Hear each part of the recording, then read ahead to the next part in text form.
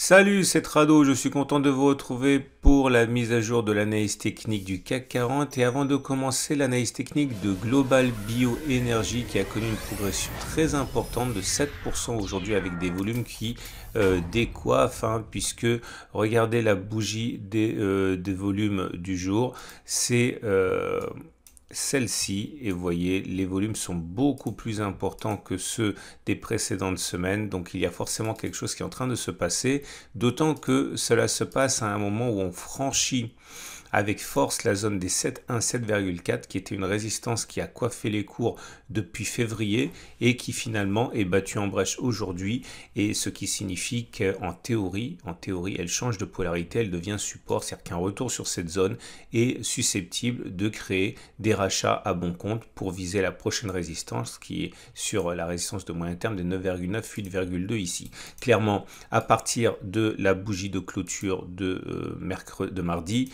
il y a un potentiel de 6,5%. Alors, beaucoup de choses à dire. Si on regarde les moyennes mobiles, pour, pour l'instant on voit que la tendance de long terme est haussière car la M200 est montante, on voit que la tendance de fond est haussière car la M50 est montante, on voit que la tendance générale est haussière car on est au-dessus de la M20 qui monte et on, voit que la tendance immédiate est haussière aussi parce qu'on est au-dessus de la M7 qui monte.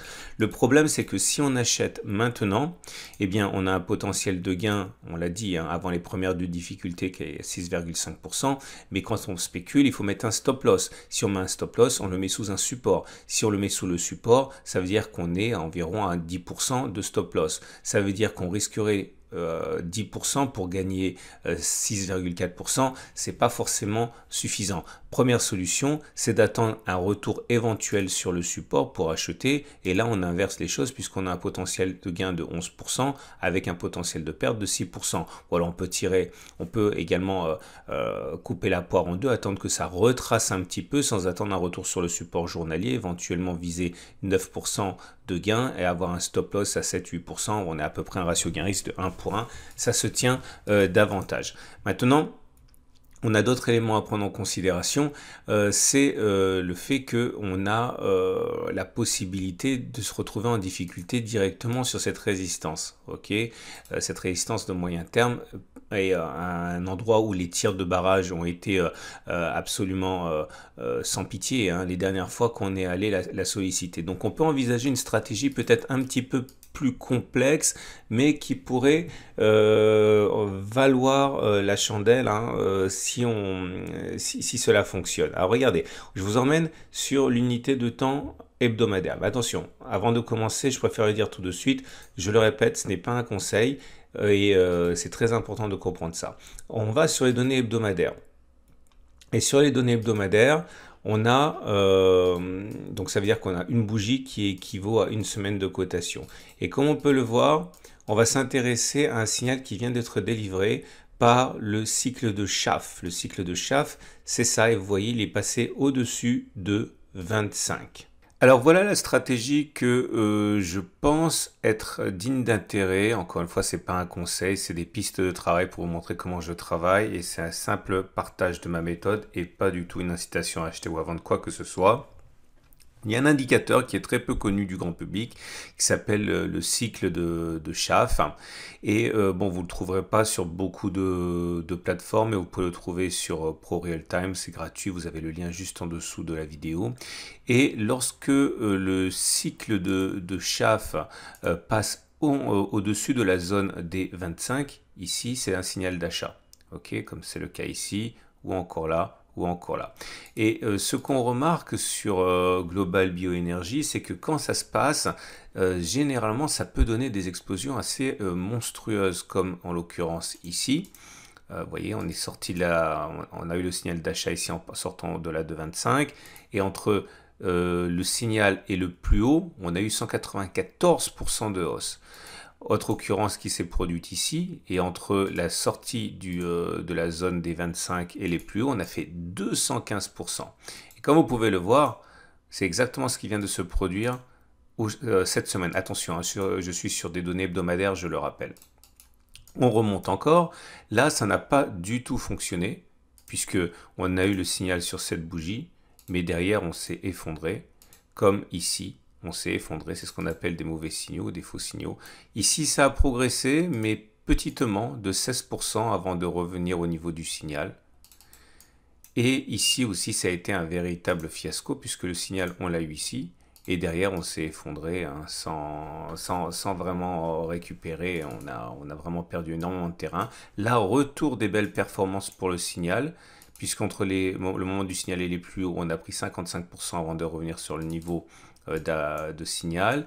Là encore, un très beau signal à 75% sur cette, euh, à partir de cette bougie jusqu'au plus haut. Là, très modeste, 5,5%. Et là, les trois euh, dernières occurrences sont absolument euh, magnifiques puisqu'on a pris 202% ou 99% ou encore 114% avant de revenir sur les niveaux qui ont été ceux de l'achat.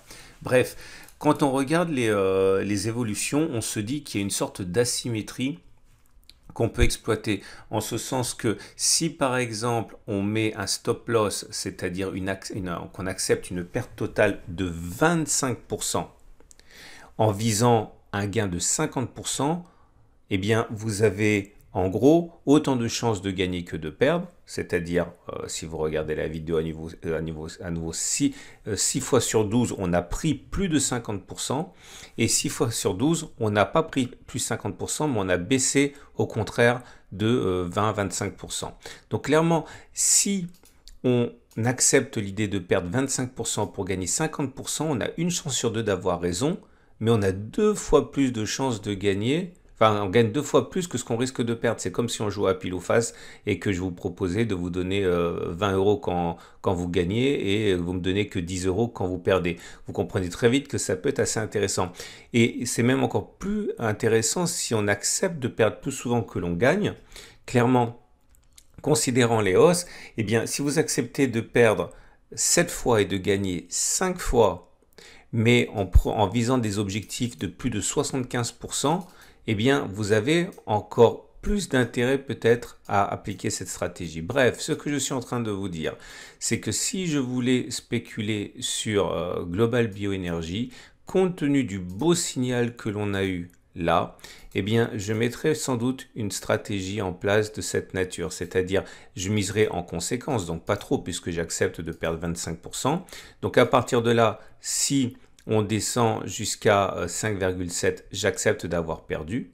Ok, je perdrai 25% de mon investissement, mais en échange, je peux viser bah, entre plus 50 et 200% globalement. À vous de faire le calcul et de regarder ce qui est le plus intéressant pour vous. Mais en tout état de cause, il y a peut-être une stratégie sur Global Bioénergie ici euh, qui fait sens.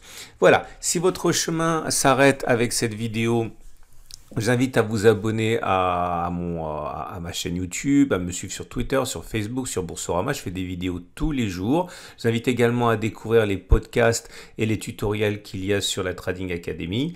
Il y a des têtes que vous reconnaîtrez sûrement et également euh, euh, des, plein d'outils à votre disposition. Le lien il est juste sous la vidéo. Et pour ceux qui euh, veulent en savoir un peu plus sur l'analyse technique, je vous invite à regarder cette vidéo du CAC 40.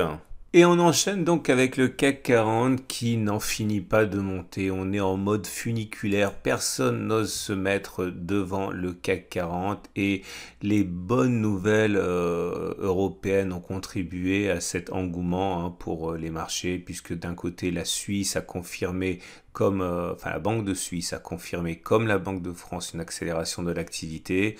Il n'y a plus aucun doute pour les investisseurs. Tout devrait rester sous contrôle avec une Banque centrale européenne accommodante. Les Américains ont terminé dans le rouge, par contre, et euh, la raison principale est le fait que les euh, l'inflation, les derniers chiffres d'inflation se sont avérés également importants, hein, comme on l'anticipait déjà auparavant, avec une augmentation de la production industrielle moins importante qu'espéré. Donc euh, les Américains ont marqué le pas, mais pas euh, le CAC 40 qui s'adjuge encore 0,35%.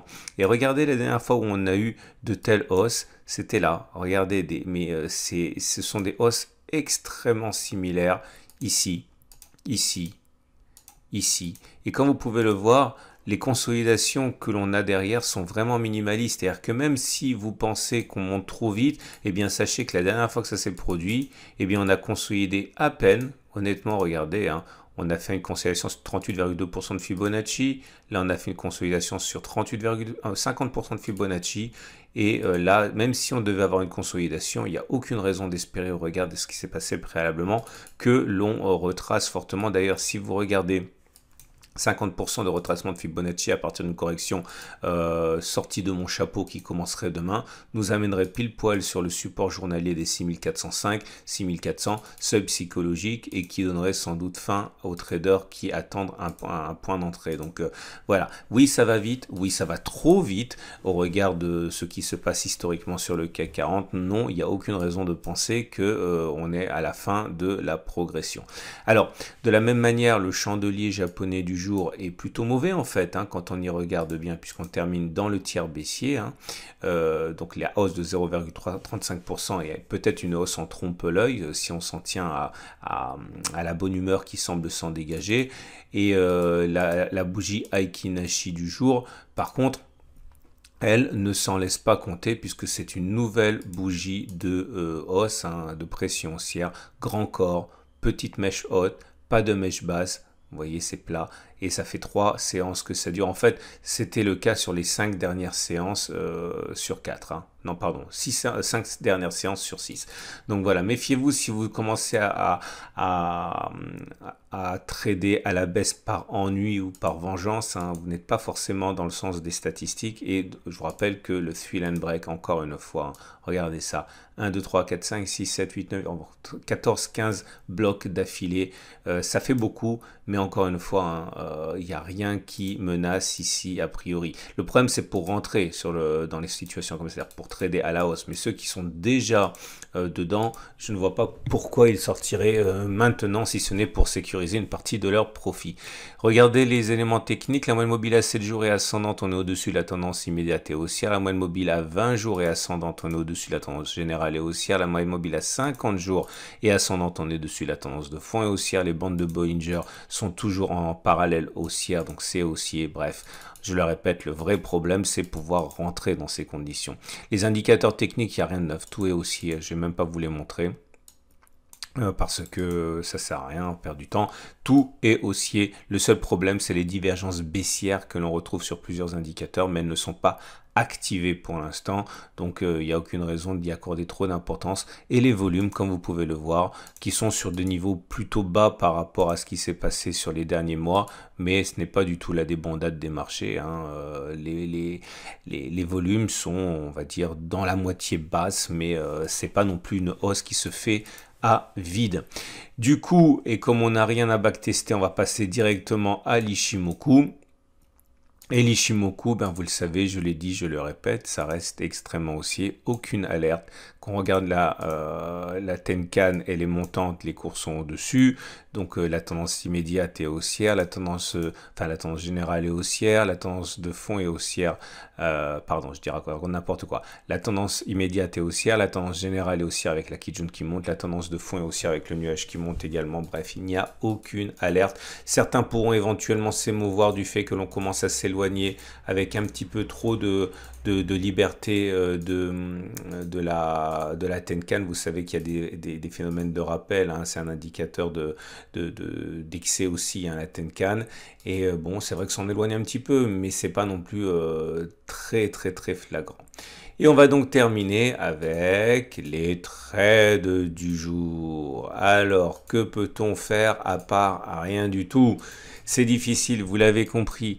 Euh, si on fait du trading traditionnel, alors, si vous voulez acheter le CAC 40, vous l'avez compris, que ce soit à travers des futurs, des CFD ou quoi que ce soit, il faudrait mettre le stop normalement en dessous d'un support. Ça veut dire maintenant 4,5% probablement de stop loss pour que le jeu en vaille la peine, et en pensant que vous avez raison une fois sur deux, faut viser au moins 4,5%. Alors même que l'on vient de prendre déjà une partie importante de, la hausse hein, annuelle, hein. regardez depuis la dernière impulsion, on est à 8%.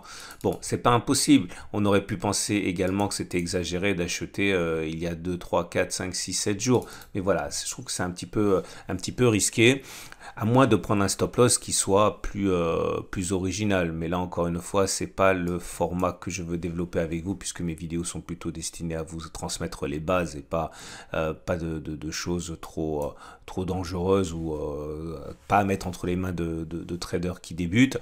Maintenant, si vous voulez spéculer à la baisse, c'est encore plus compliqué puisqu'on n'a aucun signal de baisse.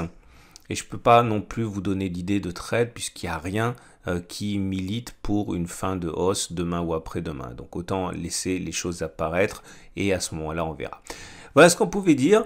Euh, je vous souhaite une excellente journée. Je vous invite à regarder l'analyse technique de moyen terme parce que finalement, on est sur des niveaux très importants. Si on les franchit cette semaine, eh bien, on est parti sans doute pour une nouvelle impulsion massive. Donc, euh, regardez bien la vidéo qui suit et puis l'analyse technique de l'or. Toujours, toujours petite consolidation en place. Ça pourrait vous intéresser si vous cherchez un bon point d'entrée, euh, à condition bien sûr que vous vouliez vous diversifier en or. À demain pour la mise à jour.